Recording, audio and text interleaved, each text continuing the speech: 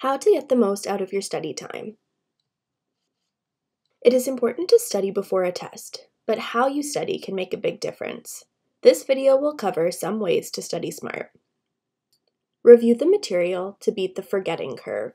Cramming right before might be tempting, but it's not the most efficient way to study. Rather than leaving your studying until the last minute, forcing you to relearn the material, review what you've learned throughout the semester. This chart represents how well you remember what you learn. As you can see, as soon as you finish learning something, you begin to forget it. The more time has passed, the more you will have forgotten.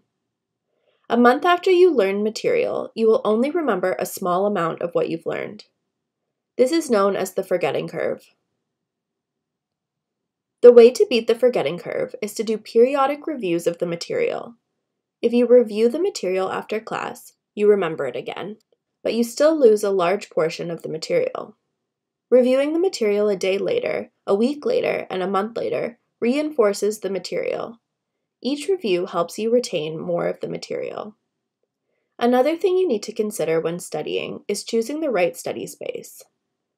Try to minimize distractions. A noisy environment can make it hard to focus. Video games and TV are more appealing than a textbook, so they can be hard to ignore. Make sure you have enough light so you can see your material. Make sure you have enough space. You might want to spread your notes out, or you may be studying with a group.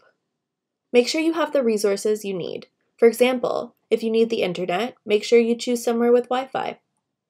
Take advantage of study groups. A study group can be a good resource when studying.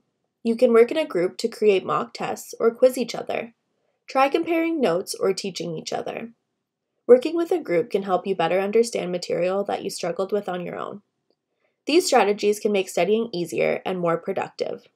Happy studying!